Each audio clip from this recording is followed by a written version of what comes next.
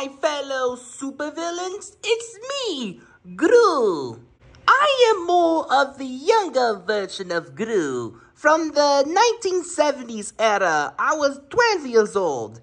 Anyways, I really hope you're gonna love Sean PVS 101's re-review of my movie, Minions, The Rise of Gru, which I hope you're really gonna love Sean PVS One's re-review of Minions, The Rise of Gru, starring me as a younger version of the iconic Bond supervillain, which this one features as a 12-year-old boy named Gru, aka me, who wants to join the Vicious Six because the Vicious Six are the greatest supervillain teams of all time. But then they turned really mean at me, then I, they tried to chase me down, I met White Knuckles, but you know what I mean. So yeah, I hope you really enjoy Sean PVS Wonder One's re-review of Minions The Rise of Gru. And I hope you really enjoyed this video and give him a like and subscribe. So, take away for the re-review, Sean. Thank you, Young Gru. I appreciate it. Anyways, hello, superheroes and supervillains. It's your friend, Sean PVS 101. Welcome back to a new video on my YouTube channel. I hope you're doing very well recently. With Despicable Me 4 is coming out real soon, which I am so excited to go see Despicable Me 4 real soon when that movie comes out. With the anticipated new release, Despicable Me 4 is coming out real soon, guys, which I am pretty excited to go see Despicable Me 4 in cinemas real soon, people. And today's brand new movie review, I'm going to do a review on my YouTube channel leading up to Despicable Me 4 and what new re-review I'm going to do a re-review on my channel leading up to Despicable Me 4 which I'm going to see that film in cinema soon. Hmm.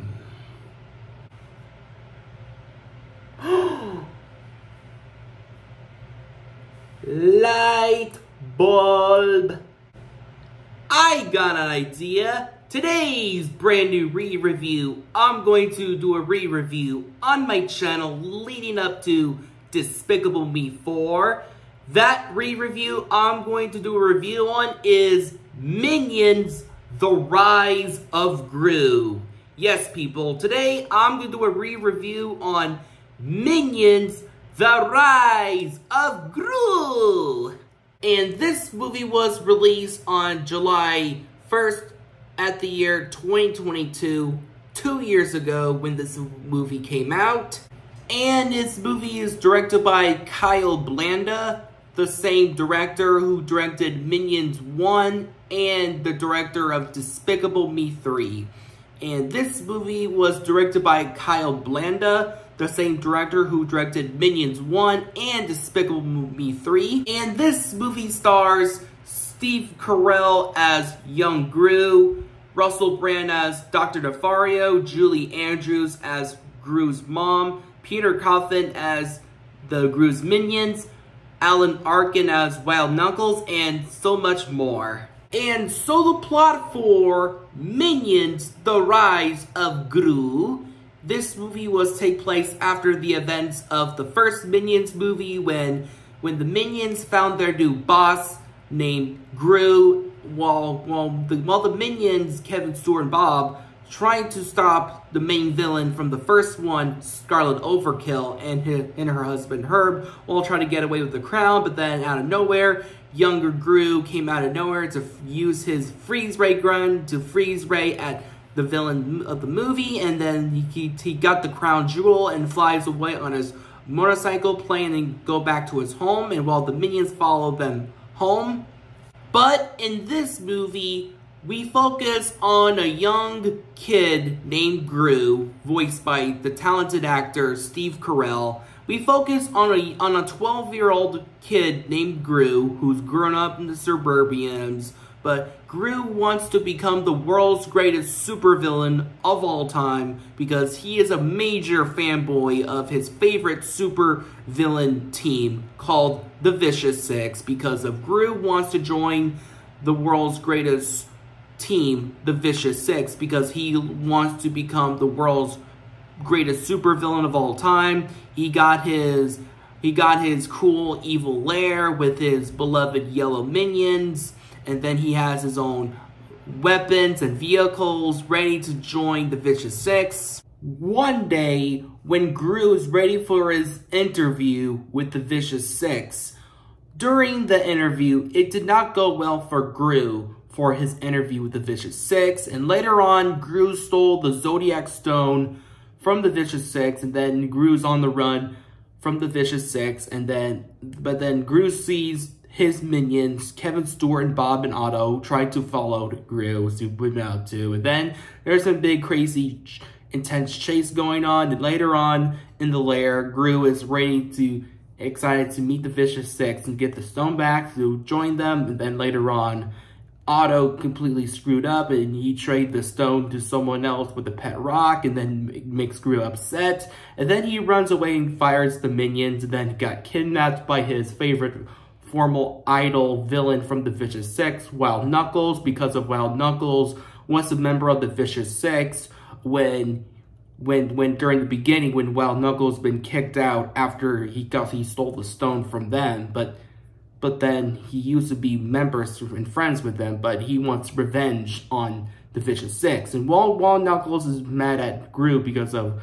he doesn't have the stone, but he he held held Gru hostage, and then the minions now it's up with Kevin Stuart and Bob and Otto trying to get the stone back and while trying to rescue Gru and stop the Vicious Six from Chinese New Year. And that's plot for this movie. So after I watch Minions, The Rise of Gru, leading up to Despicable Me 4.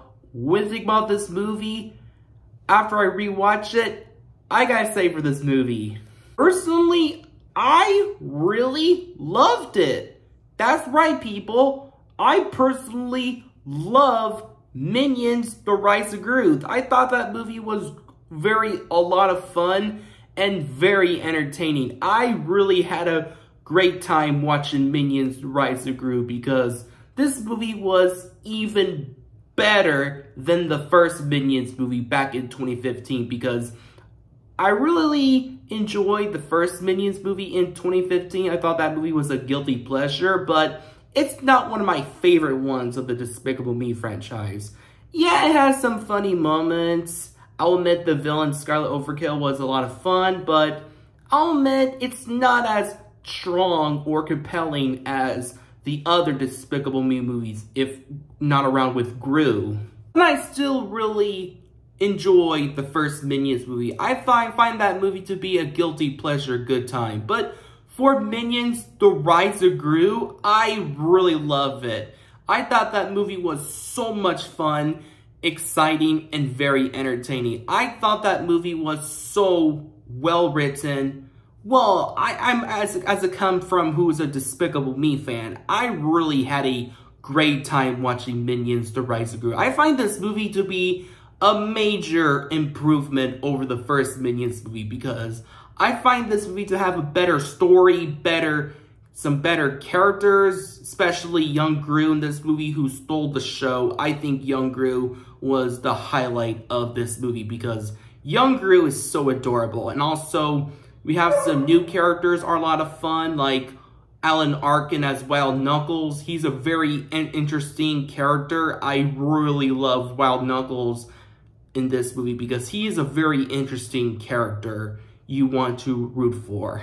Yeah, let's get into the story. So the story for this movie, I find the story of the movie to be very interesting because uh, this movie is the sequel to the prequel of everything because it's the second movie in the Minions series because of this movie is the Majora's Mask of Despicable Me movies because it's the basic it's basically the prequel it's a, it's basically the sequel sequel to the prequel of everything. It's like a sequel slash prequel to a before a major event movie.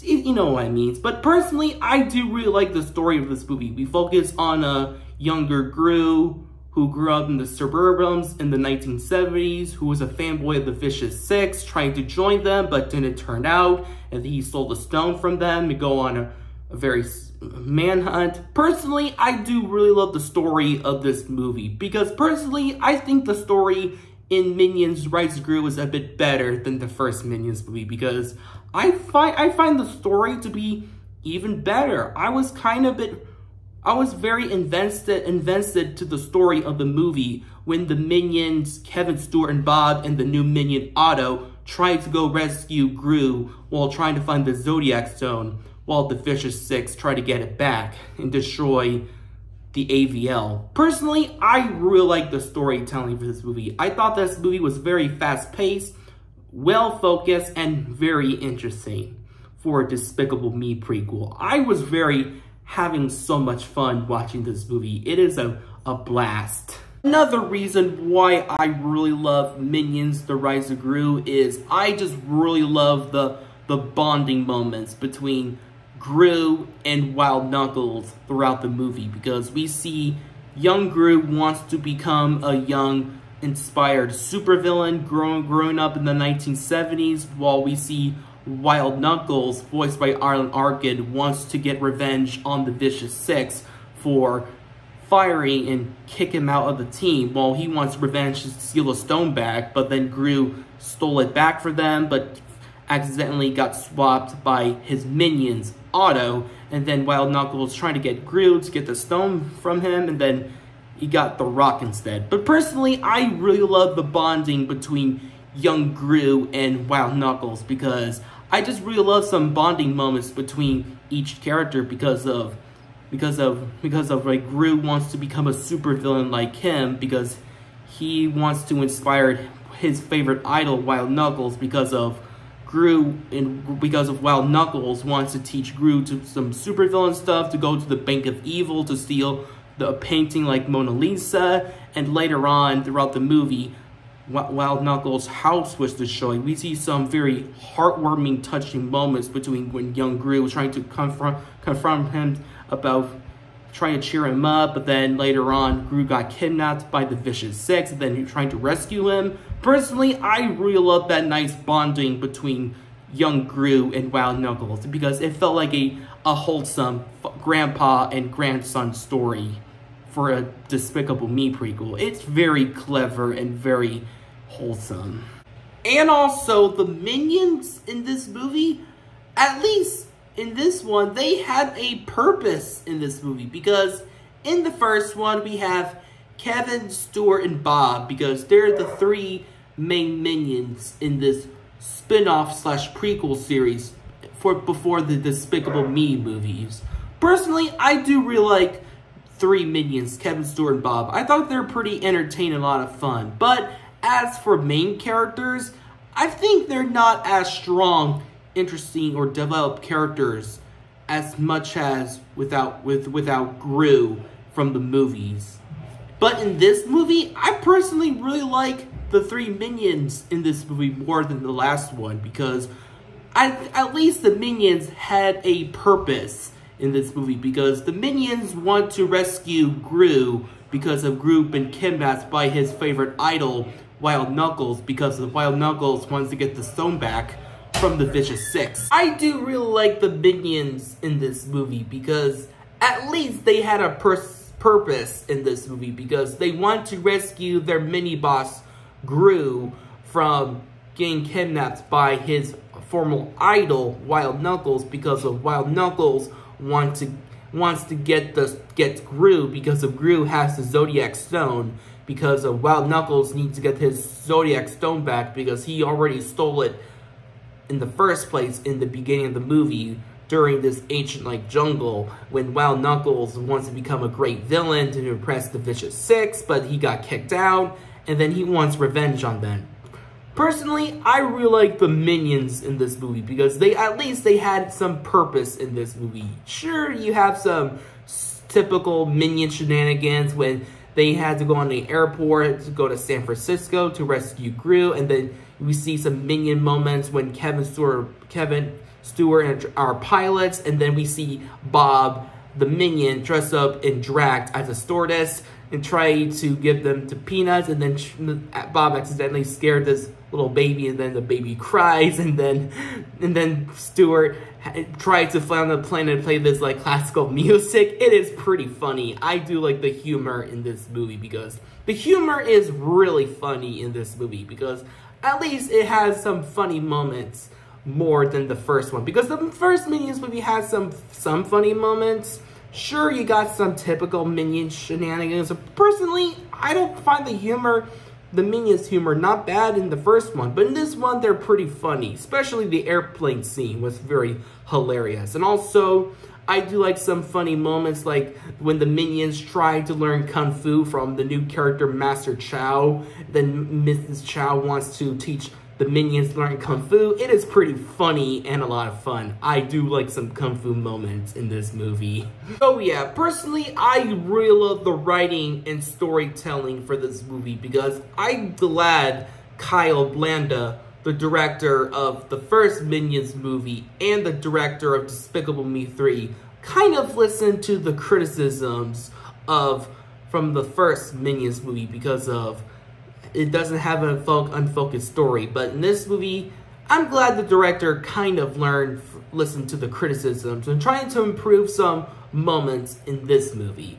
Good for him. Also, the animation. The animation is phenomenal. I still love the animation in Minions The Rise of Gru. It's got to be the most gorgeous looking visuals from this franchise. I still love the animation from the franchise. Especially like this one. I love the animation visuals from Minions The Rise of Gru. I love the character designs. I love the models. I love the expressions on the characters, both positive or negative. I love the models. The backgrounds and locations are excellent and creative. I really love the 1970s setting in this movie because this movie set in 1976. I love the 1970s era when this movie set in. I just love the backgrounds, the areas, location, overall just look very interesting and very creative. These animators did a phenomenal job making this movie come to life. I personally really love the animation in Minions The Rise of Gru. They carried this movie, especially the third act during the climax when when the minions are trying to rescue young Gru while he's being kidnapped by the Vicious Six during the cl climax at Chinese New Year. Personally, I just love the climax on the on the visuals of the animation. It looks so good and so fast paced. I just really love the movements and character animation during the climax. It's very fast paced and very awesome. Especially during one scene when the when the minions turn into zodiac animals when they're ready to fight against the vicious six. It is very jaw-dropping and very intense worthy. It's probably one of my favorite climax from the Despicable Me movie. It's gotta be the Zodiac battle scene at the very end. And also, let's talk about the characters, shall we?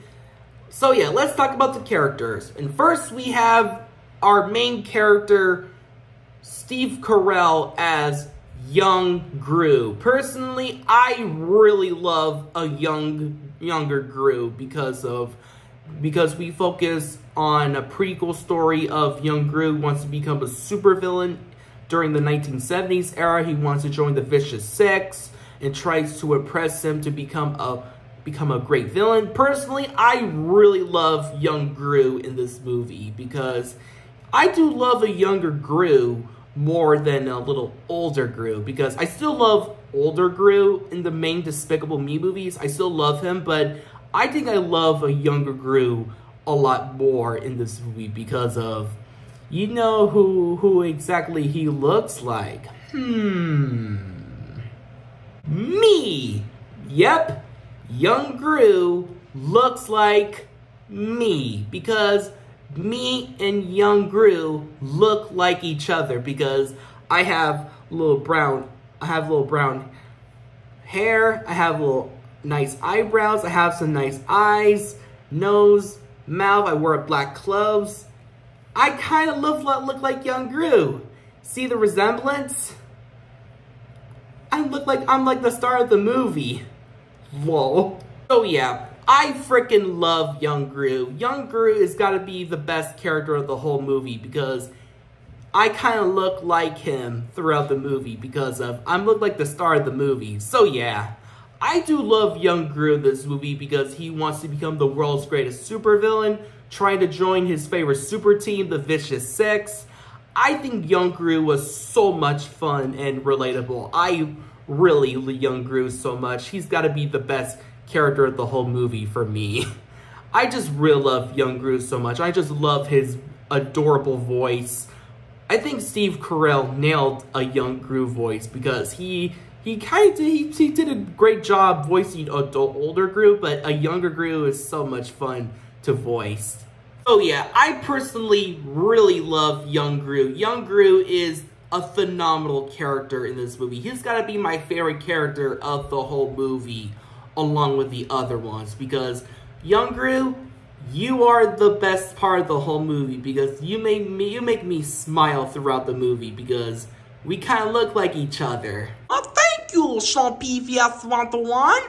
I know you kind of look like me because uh, we got the same look each other, but I'm very proud of you. You called me the best character of my movie, Minions Rise of Gru, because I am pretty despicable because I don't want the crust on my favorite form of supervillains, the Vicious Six, throughout the movie. So yeah, thank you for loving me as a character a lot, Sean. Very welcome, Young Gru. And then we have other characters like the three minions, Kevin, Stuart, and Bob.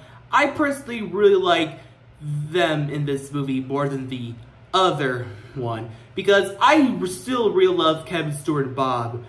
In this movie, I do really like them a lot more than the first Minions because at least they had a personality because they went to rescue their mini boss Gru from his former idol Wild Knuckles.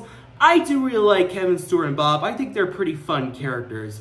And then we have the new minion Otto. Personally, I really like Otto. Otto is a pretty funny character because he has some braces, he talks too much. Sure, he kind of screws up all the time when he accidentally trade the Zodiac Stone to a pet rock from that curly fat kid at the birthday party. Personally, I find Otto to be a little funny. I know a little screwed up, but funny at the same time. And then we have other new characters like Master Chow. Personally, I love Master Chow, who's this Asian lady who learns Kung Fu to teach the three minions Kevin and Bob to learn Kung Fu. I really like Master Chow. She's a pretty fun new character. And then we have Wild Knuckles, voiced by Alan Arkin. I really love Wild Knuckles. I think Wild Knuckles is a fantastic new character in this movie because he wants to get the stone back from the Vicious Six because of he tries to steal the stone from the very beginning, but then he got berated by his team, the Vicious Six. Personally, I feel bad for Wild Knuckles because of he wants to get that stone because he wants to become a great supervillain, but then he has a nice bonding between his fan, Gru. Personally, I do love Wild Knuckles and Gru's bonding moments between during the Bank of Evil heist. Personally, I really love Wild Knuckles as a character. He's a very, very well interesting character. Rest in peace, Alan Arkin, who voiced Wild Knuckles. You may rest in peace. And then we have Dr. Nefario and Marvelyn Gru. Well, well, they're not in this movie a lot because they have a little less screen time, but it's nice to see Dr. Nefario back in this movie during as a younger version of that character. And we have the main villains of the movie, the Vicious Six, Belle Bottom, Jean-Clawed, Savageness, Nunchuck, and Stronghold. While they're not my favorite Despicable Me villains because uh, they have nothing to do, but personally, I think they're pretty fun and very threatening villains, especially during the third act when they turn into Zodiac animal monsters and the anti-villain league agents during Chinese New Year and let and let young Gru hostage at a Chinese clock. Personally, I find the Vicious Six to be very bit threatening. Well, not my favorite Despicable Me villains, but personally, I think they're pretty enjoyable and fun villains. Because I just love their designs.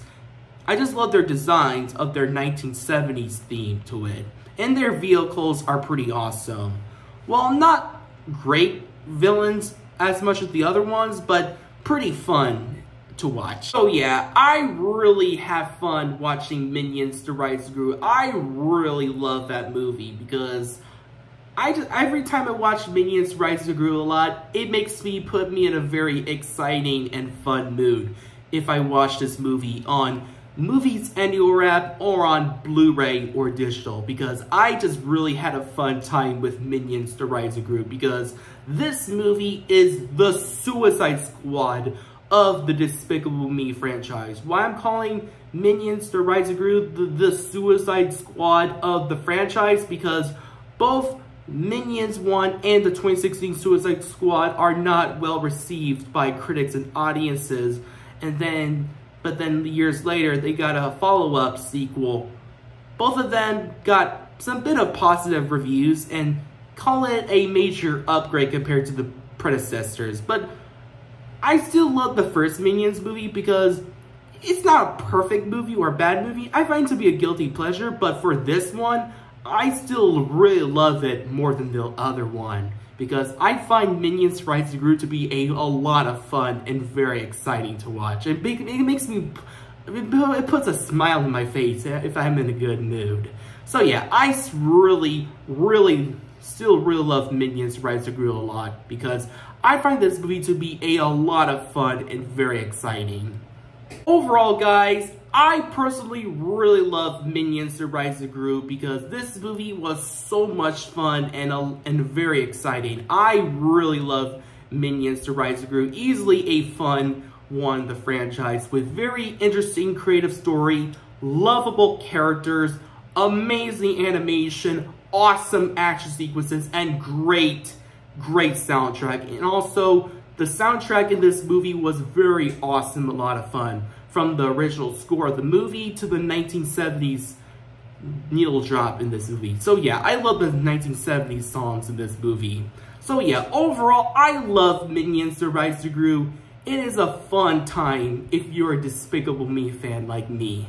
This movie is for you. So yeah, I give Minions The Rise of Gru a solid 9 out of 10. It's definitely worth the watch. Well, that's for my movie review on Minions The Rise of Gru. I hope you liked this video. Give me a like and subscribe. Subscribe to my channel. Comment down below what you think of this video. Did you like it or dislike it? Comment down below. And who is your favorite part of the whole movie? Mine is Young Gru. So yeah, subscribe and get totally